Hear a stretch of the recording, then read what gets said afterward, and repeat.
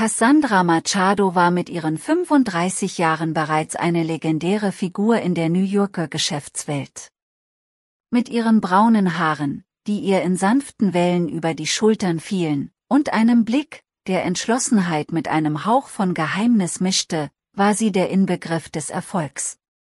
Ihr Büro im 20. Stock eines Wolkenkratzers in Manhattan bot einen atemberaubenden Blick auf die Stadt, ein Symbol für ihren kometenhaften Aufstieg. Cassandra, das Treffen mit den japanischen Investoren war ein voller Erfolg, sie waren von deinem Vorschlag beeindruckt, sagte ihr Assistent Matteo und betrat das Büro mit einem triumphierenden Lächeln. Cassandra, die hinter ihrem Schreibtisch saß, nickte zur Antwort. Ihr Blick war bereits auf den nächsten Bericht gerichtet. Ausgezeichnet, Matteo, bereite die Unterlagen für die nächste Phase vor, wir haben keine Zeit zu verlieren. Ihr Berufsleben war ein Kaleidoskop aus Verhandlungen, Besprechungen und schnellen Entscheidungen, doch außerhalb der Glas- und Stahlwände ihres Büros herrschte eine Leere, die sie nicht füllen konnte. Vor zwei Jahren ging eine Beziehung, die sie für die Liebe ihres Lebens hielt, in die Brüche, was ihr das Herz brach und sie zutiefst misstrauisch gegenüber der Liebe machte. In einer kalten Oktobernacht, als sie auf die beleuchtete Stadt unter ihr blickte, erinnerte sich Cassandra an John, ihren Ex-Verlobten. Du bist zu viel für mich, Cassandra, dein Ehrgeiz, ich kann dir nicht folgen. Das hatte er ihr in der Nacht gesagt, als alles vorbei war. Diese Worte halten in ihrem Kopf nach eine schmerzhafte Erinnerung an eine verlorene Liebe. Seitdem hatte sich Cassandra vor jeder Möglichkeit einer neuen Romanze geschützt. Ich kann es mir nicht leisten, wieder verletzlich zu sein, murmelte sie vor sich hin, während sie einen Stift zwischen ihren Fingern zwirbelte. Liebe ist eine Ablenkung, die ich nicht brauche. Ihre besorgten Eltern ermutigten sie immer dazu, auszugehen und neue Leute kennenzulernen. Cassandra konnte sich nicht von der Welt abkapseln, ihre Mutter bestand auf ihren seltenen Besuchen. Du brauchst jemanden, der dir zur Seite steht.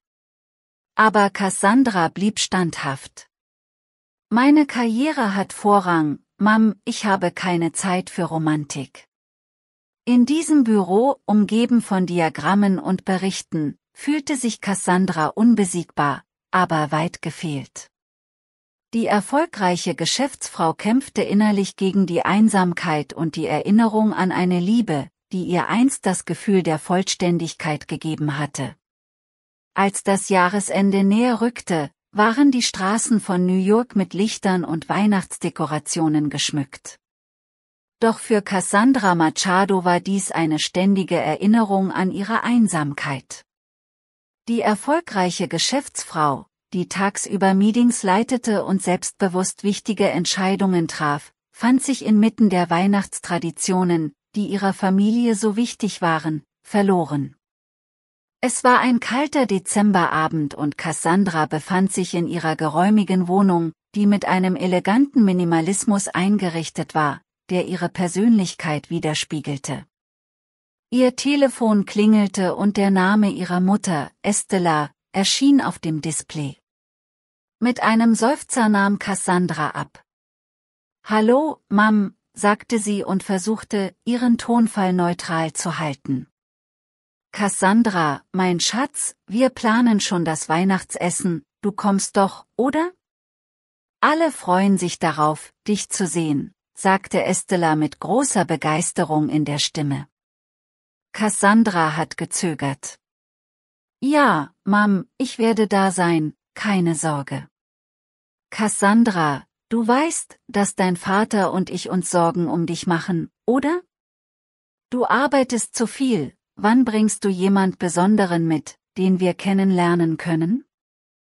Diese Frage, die sich Jahr für Jahr wiederholte, bereitete Cassandra ein unangenehmes inneres Gefühl. Mama, du weißt, dass ich mich im Moment auf die Arbeit konzentriere, ich habe keine Zeit für Beziehungen. Aber Liebling, du wirst nicht jünger, wir wollen Enkelkinder haben, eine Familie für dich. Cassandra spürte einen Anflug von Frustration. Mama, wir haben schon darüber gesprochen, ich bin noch nicht so weit. Am anderen Ende der Leitung herrschte Stille, und dann seufzte Cassandras Mutter. Ist schon gut, Schatz, wir wollen nur nicht, dass du dich allein fühlst. Cassie legte den Hörer auf, setzte sich aufs Sofa und betrachtete den Weihnachtsbaum, den sie aus reiner Tradition aufgestellt hatte. Die Lichter leuchteten hell, aber auf sie wirkten sie leblos, ein Spiegelbild ihrer eigenen Gefühle. In diesen Momenten fragte sie sich, ob ihre Hingabe an ihrer Arbeit die Einsamkeit wert war, die sie fühlte. An diesem Weihnachtsfest würde Cassandra wie an den vorangegangenen zu ihrer lieben und lauten Familie kommen, aber in ihrem Inneren wuchs das Gefühl der Isolation. Die Fragen ihrer Eltern nach Heirat und Kindern vergrößerten nur die Kluft zwischen ihrem wirklichen Leben und ihren Erwartungen an ein traditionelles Familienleben für sie. Während sie lächelte und an den Festlichkeiten teilnahm, konnte Cassandra nicht anders, als sich wie eine Fremde in ihrem eigenen Leben zu fühlen. Eine Beobachterin einer Welt, der sie sich nicht mehr zugehörig fühlte. Wenn du Cassandra wärst, Würdest du auf deine Eltern hören und dich wieder für die Liebe öffnen, oder würdest du deine Karriere fortsetzen, ohne offen für eine neue Liebe zu sein, oder würdest du deine Liebe auf etwas anderes richten? Hinterlassen Sie Ihre Kommentare hier. An Heiligabend fand sich Cassandra Machado allein in ihrer Luxuswohnung wieder. Die Glaswände boten einen Panoramablick auf das erleuchtete New York City. Der festliche Glanz draußen stand in starkem Kontrast zu der Stille in ihrem Haus. Von dem plötzlichen Wunsch beseelt, ihrer Einsamkeit zu entfliehen, zog Cassandra ihren Mantel an und beschloss, durch die Stadt zu fahren und Trost in der Weihnachtsbeleuchtung und Dekoration zu suchen. Während sie durch die verschneiten Straßen fuhr, kam ihr Luxuswagen an versammelten Familien vorbei, an Paaren, die sich an den Händen hielten, und an lachenden Kindern unter den funkelnden Lichtern. Cassandra betrachtete jede Szene durch die beschlagenen Scheiben, was in ihrem Herzen einen Hauch von Melancholie hervorrief. So viele verschiedene Geschichten, murmelte sie vor sich hin. Und hier bin ich, allein in der Mitte von ihnen allen. Gedankenverloren wurde Cassandra langsamer, als sie sich einem örtlichen Park näherte, in dem die Bäume mit funkelnden Lichtern geschmückt waren. In diesem Moment fiel ihr etwas Unerwartetes ins Auge, ein kleiner, barfuß laufender Junge spielte allein auf dem kalten Pflaster. An jenem kalten Weihnachtsabend in New York waren die Straßen mit festlichen Lichtern geschmückt. Aber für einen kleinen Jungen, der barfuß und allein auf dem Bürgersteig saß, waren diese Lichter nur ein entfernter Schein. Er war ganz in seine eigene Stille versunken und nahm die Hektik der Zeit um ihn herum nicht wahr. Seine von der Kälte zerknitterten Finger spielten ablenkend mit einem abgenutzten Stück Papier und formten es in verschiedene Formen. Cassandra Machado, die den Jungen bei seinem einsamen Spaziergang durch die Stadt bemerkt hatte, hielt das Auto an und näherte sich vorsichtig. Sie spürte die Besorgnis in ihrem Herzen, als sie sich dem Jungen näherte, dessen Anwesenheit im krassen Gegensatz zu der festlichen Stimmung stand, die ihn umgab. Hallo, sagte Cassandra mit sanfter Stimme und versuchte, ihre wachsende Besorgnis zu verbergen. Ist alles in Ordnung mit dir? Beim Klang ihrer Stimme hob der Junge abrupt den Kopf und entblößte seine Augen. Es waren Augen, die nicht sehen konnten, aber sie schienen Cassandras Anwesenheit mit einer spürbaren Intensität zu spüren. Er wirkte überrascht, aber nicht verängstigt, so als wäre die Anwesenheit eines Fremden ein ungewöhnliches Ereignis, aber nicht völlig unerwartet. Wer bist du? fragte das Kind mit ruhiger Stimme, aber einem Hauch von Neugierde. Ich heiße Cassandra, antwortete sie und kniete sich nieder, um ihm in die Augen zu sehen. Und du? Ich heiße Erike, antwortete er und drehte sein Gesicht zu ihr, als ob er mit seinen Ohren sehen wollte. Cassandra bemerkte, wie Erike das Stück Papier wie einen Talisman hielt. Das ist ein schönes Flugzeug, das du da hast, kommentierte sie und versuchte, eine Verbindung herzustellen. Erike lächelte, ein Lächeln, das sein junges Gesicht erhellte. Das ist mein Flugzeug, ich bringe es zum Fliegen, sagte er und wedelte mit dem Papier in der Luft, um einen Flug zu imitieren. Cassandra fühlte eine Welle der Erregung, als sie die Unschuld und die Fantasie des Jungen vor sich sah. Magst du Flugzeuge? fragte sie und versuchte, das Gespräch in Gang zu halten. Ja, antwortete Erike. Sie können überall hinfliegen, weit weg von hier. Erikes Worte, die voller Sehnsucht nach Flucht waren, klangen in Cassandra nach. Sie schaute sich nach Anzeichen für einen Betreuer um, aber er war allein. Die Situation des Jungen, der an Heiligabend barfuß und blinter saß, lastete schwer auf Cassandras Herz. Sie wusste, dass sie ihn nicht einfach dort lassen konnte, denn irgendetwas in ihr drängte darauf, dass sie mehr tun musste. An einem kalten Weihnachtsabend in New York fand sich Cassandra Machado in einer Situation wieder, die allem widersprach, was sie kannte. Sie saß neben Erike, dem barfüßigen blinden Jungen, auf dem schneebedeckten Bürgersteig und versuchte, seine Geschichte zu verstehen. Der kalte Wind wehte, aber Erikes Geschichte jagte Cassandra Schauer über den Rücken. Erike, wo sind deine Eltern? Fragte Cassandra mit sanfter Stimme, um ihre wachsende Besorgnis zu verbergen. Erike zuckte mit den Schultern, mit einem resignierten Ausdruck auf seinem jungen Gesicht. Ich weiß es nicht, Sie haben mich hier gelassen, Sie sagten, Sie kämen zurück. Als er versuchte, weiter zu sprechen, verstummte seine Stimme und hinterließ eine schwere Stille in der Luft. Cassandra spürte einen Schmerz in ihrem Herzen. Warst du seither allein hier? fragte sie und versuchte, ruhig zu bleiben. Erike nickte, ja, es geht mir gut, manchmal geben mir die Leute etwas, sagte er und meinte damit die Almosen. Aber warum haben dich deine Eltern hier zurückgelassen? Ich verstehe das nicht, murmelte Cassandra. In diesem Moment erzählte Erike von einer noch dunkleren Realität. Sie haben mich benutzt, um Geld zu erbetteln, die Leute haben mehr Mitgefühl, wenn sie ein blindes Kind sehen. Seine Stimme war leise, als ob er ein schändliches Geheimnis preisgeben würde. Cassandra fühlte eine Mischung aus Wut und Traurigkeit. Das ist schrecklich, Erike, niemand sollte ein Kind so ausnutzen. Wurden Sie blind geboren? Erik nickte.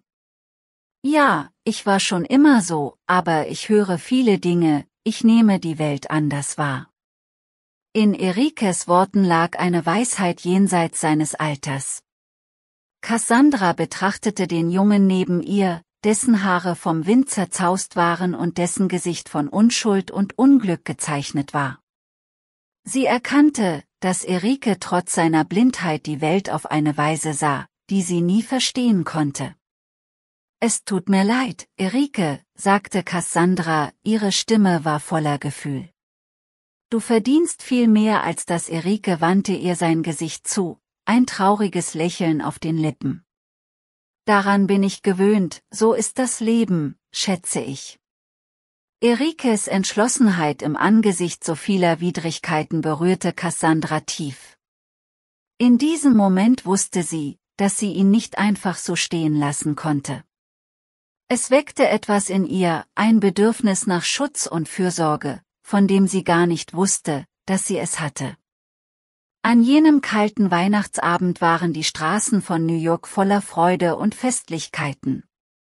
Doch für Cassandra Machado sah die Realität anders aus. Vor ihr stand Erike, ein blinder und hilfloser Junge, dessen Lebensgeschichte ihr Herz tief berührt hatte. Fest entschlossen, etwas für ihn zu tun, traf Cassandra eine Entscheidung, die ihr Leben für immer verändern sollte. Erike, ich werde dir helfen, aber wie wäre es, wenn ich dir zuerst ein paar neue Kleider kaufe? Sagte Cassandra und reichte dem Jungen ihre Hand. Erike lächelte, mit einer Mischung aus Überraschung und Dankbarkeit auf seinem Gesicht. Das wäre wirklich toll, danke, antwortete er, und seine Stimme zitterte vor Aufregung. Cassandra ging mit Erike durch die beleuchteten Straßen zu einem Bekleidungsgeschäft, wo sie warme, bequeme Kleidung aussuchten. Cassandra beobachtete Erike mit Bewunderung, trotz seiner schwierigen Situation zeigte er eine Unverwüstlichkeit und Lebensfreude, die sie beeindruckte. Nach dem Einkaufen beschloss Cassandra, Erike nach Hause zu bringen. Auf dem Weg dorthin überlegte sie, wie sie die Anwesenheit des Jungen ihrer Familie erklären sollte, in der Vorurteile und harte Urteile tief verwurzelt waren. Cassandra wusste, dass sie Erike vor jeder respektlosen Behandlung schützen musste. Erike, ich werde meiner Familie sagen, dass du über die Feiertage mein Aushilfssohn bist, erklärte Cassandra während der Fahrt. Manchmal können sie schwierig sein, ich möchte nicht, dass du als Straßenkind misshandelt wirst. Erike nickte und verstand die Situation. Es ist in Ordnung, Cassandra, ich vertraue dir.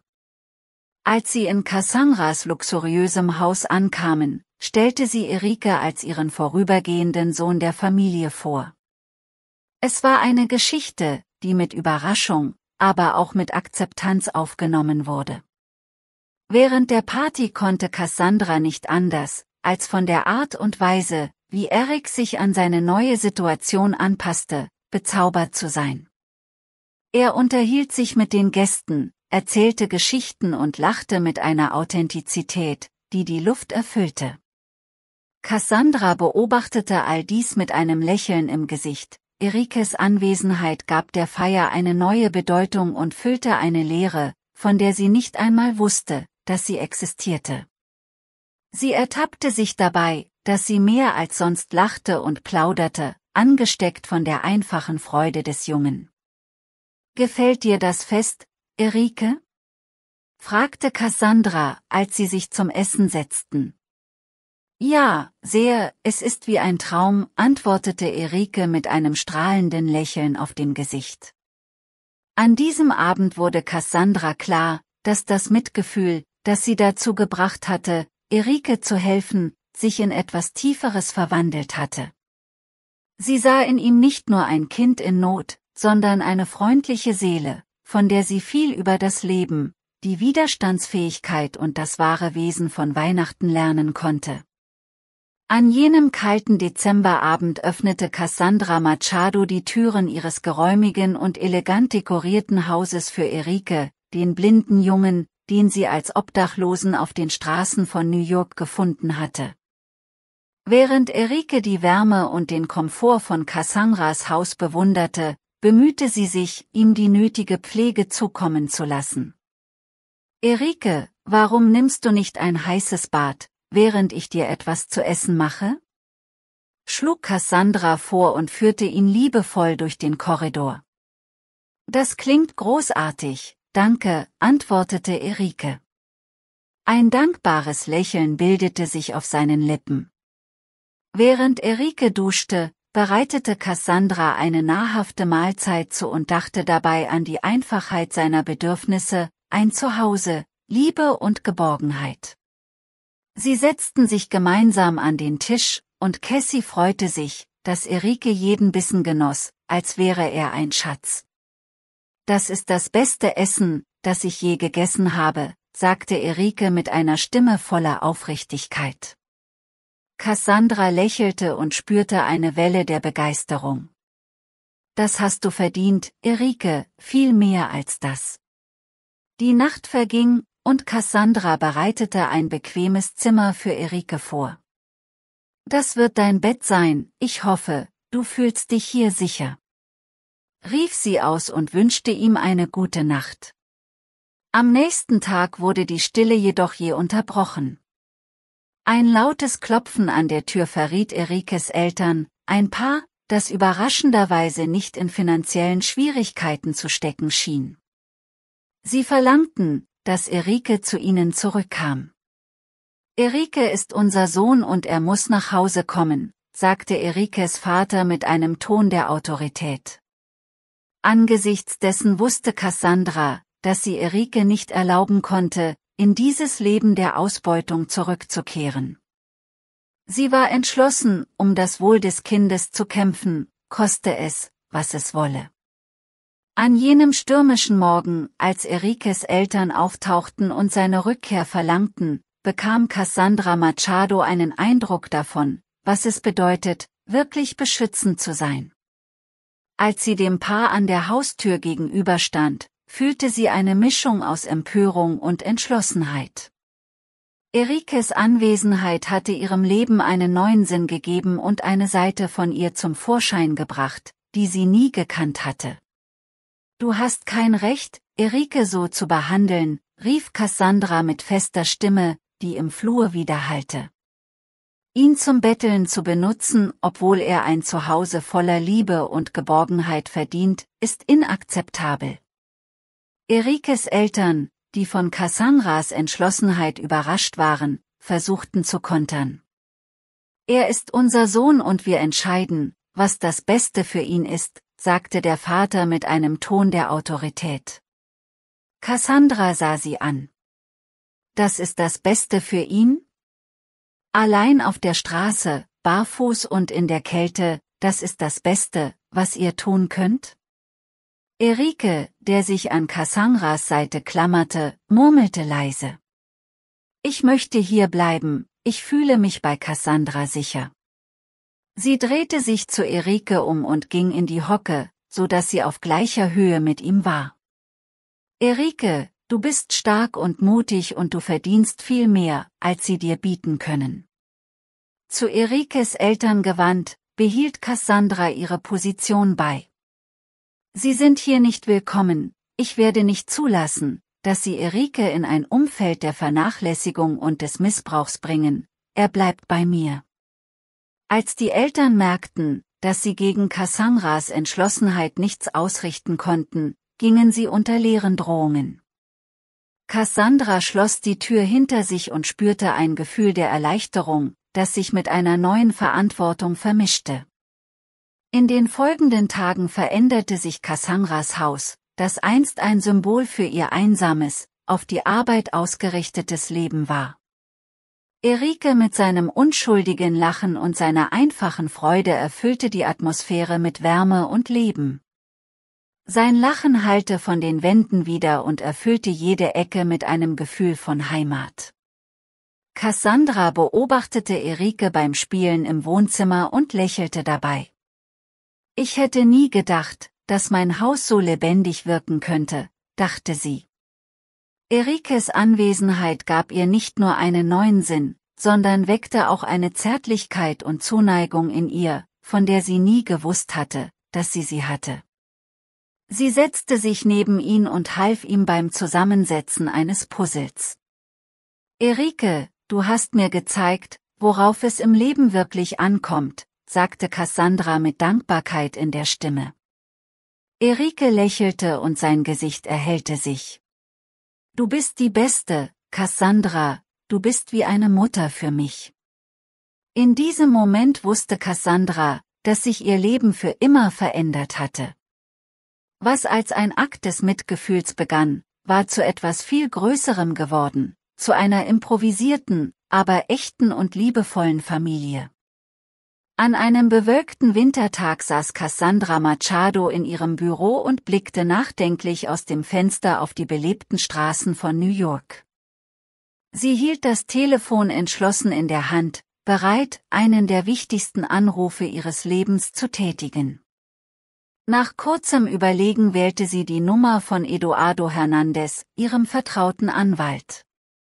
Eduardo, hier ist Cassandra, ich brauche deine Hilfe in einer sehr wichtigen Angelegenheit, begann Cassandra mit ernstem Ton in ihrer Stimme. Eduardo, immer professionell, antwortete sofort. Natürlich, Cassandra, was kann ich für dich tun? Cassandra holte tief Luft, bevor sie fortfuhr. Es geht um ein Kind, Erike, das von seinen Eltern im Stich gelassen wurde, und ich möchte es adoptieren.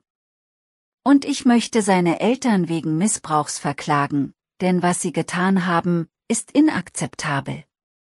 Eduardo, überrascht von der unerwarteten Anfrage, aber sensibel für die Situation, reagierte mit Verständnis. Ich verstehe den Ernst der Lage, wir werden alles tun, was nötig ist, damit Erika eine bessere Zukunft hat. Wir brauchen alle Informationen über den Fall, und ich werde mich persönlich um das Adoptionsverfahren und die rechtlichen Schritte gegen die Eltern kümmern. Danke, Eduardo, das bedeutet mir und Erike sehr viel, sagte Cassandra und spürte, wie ihr eine Last von den Schultern genommen wurde. Cassandra, du weißt, dass ich die Sache mit der nötigen Sorgfalt angehen werde. Erika hat Gerechtigkeit und ein liebevolles Zuhause verdient, versicherte Eduardo ihr. In den nächsten Tagen arbeiteten Cassandra und Eduardo gemeinsam an dem Fall, nahmen Aussagen auf, organisierten Dokumente und bereiteten sich auf die Anhörungen vor.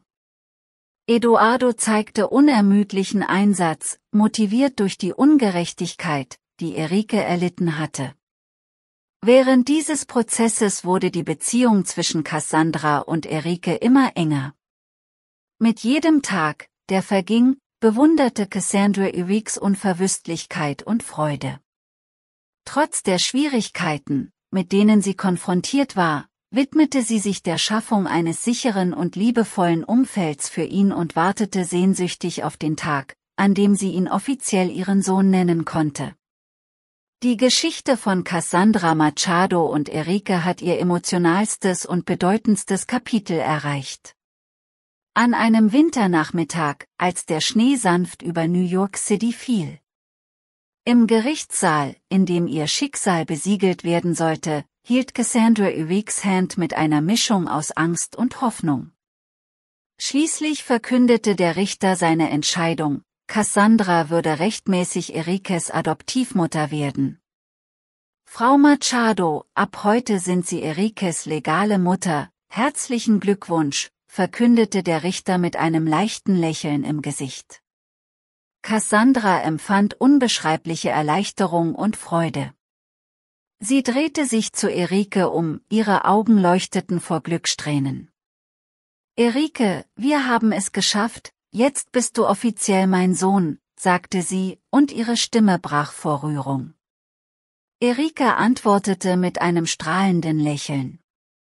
Das habe ich immer gewusst, Cassandra, du warst immer wie eine Mutter für mich. Als sie das Gerichtsgebäude verließen, streichelten Schneeflocken sanft ihre Gesichter und symbolisierten einen Neuanfang. In den folgenden Monaten wurde das Leben von Cassandra und Erik zu einer Reihe von gemeinsamen Entdeckungen und Freuden. Cassandra, die sich immer auf ihre Karriere konzentriert hatte, entdeckte in der Mutterschaft eine neue Welt.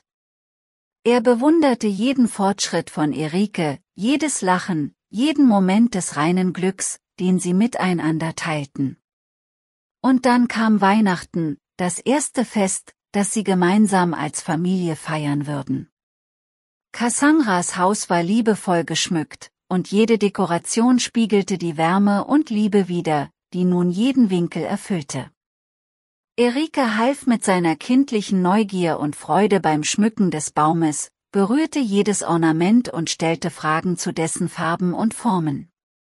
Das ist das schönste Weihnachten aller Zeiten, rief Erika aus, während er die Beschaffenheit der Ornamente fühlte. Cassandra beobachtete Erike mit einem liebevollen Lächeln. An diesem Abend, als draußen der Schnee fiel, saßen Cassandra und Erika am Esstisch. Sie stießen auf die Liebe, die Familie und die Zukunft an.